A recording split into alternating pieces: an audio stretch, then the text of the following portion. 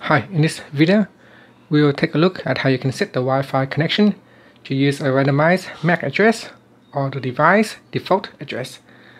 Now first tap on the home key to go back to your home screen, then swipe down and tap on the settings icon. In settings, tap on connections, and then tap on Wi-Fi.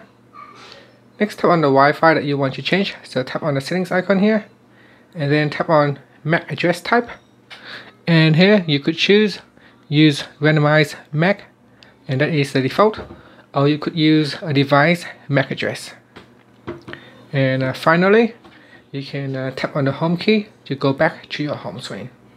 Now the benefit of using a device MAC is that if on the uh, Wi-Fi router uh, there is a restric restriction to only allow um, a, a, specific MAC address to connect to a Wi-Fi router then you cannot use a randomized MAC, you have to use a specific device MAC to connect to that Wi-Fi router. So that is depending on the security settings on your Wi-Fi router. That is why sometimes you might need to use a device MAC instead of the randomized MAC. Finally, tap on the home key to go back to your home screen. Thank you for watching this video. Please subscribe to my channel for more videos.